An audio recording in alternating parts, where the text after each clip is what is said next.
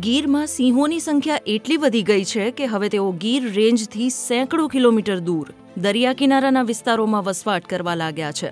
ગુજરાતના વન વિભાગે હવે સિંહોને બરડા ડુંગરમાં સ્થાયી કરવાના પ્રયત્ન શરૂ કર્યા છે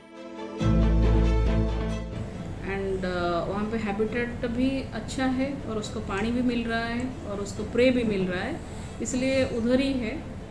कुछ लायंस कोस्टल में सेटल भी हुए हैं और कुछ लायन कोस्टल की तरफ मूव करते हैं और वापस भी आते हैं ये लायन जो है ये कोस्टल की तरफ गया था और कोस्टल में माधोपुर तक लायन जाना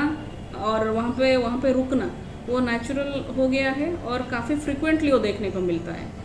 बट ये जो मेल लायन था ये पहली बार उसको क्रॉस करके पूरा बर्डा तक गया और आफ्टर मेनी इयर्स ये चीज़ हुआ है જો કે બીબીસી સાથેની વાતચીતમાં નિષ્ણાતોએ એવો મત વ્યક્ત કર્યો કે સિંહ જાતે જ પોતાની સીમા વિસ્તારી રહ્યા છે. સિંહોનો સરકારે નક્કી કરેલો વિસ્તાર છે ચૌદસો ને છવ્વીસ ચોરસ કિલોમીટર છે. એ સિંહો બાવીસ હજાર ચોરસ કિલોમીટરમાં ફરે છે. છેલ્લી ગણતરીમાં સરકારે આ આટલા બધા વિસ્તાર અને લગભગ આખા સૌરાષ્ટ્રમાં જોયો. એટલે હવે સિંહો બરડામાં પહોંચે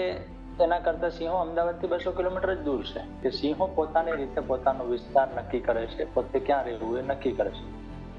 દરમિયાન રાજ્યસભાના સાંસદ અને રિલાયન્સના ડિરેક્ટર કોર્પોરેટ પરિમલ નથવાણીએ પણ ટ્વીટ કરીને દાવો કર્યો હતો કે અઢાર જાન્યુઆરીના રોજ નર સિંહ બરડા અભયારણ્યમાં પ્રવેશ્યો હતો અને ત્યારથી આ સિંહ બરડામાં હોવાનું નિષ્ણાતો કહી રહ્યા છે. અને વન વિભાગ પણ તેની હિલચાલ પર નજર રાખી રહ્યો છે.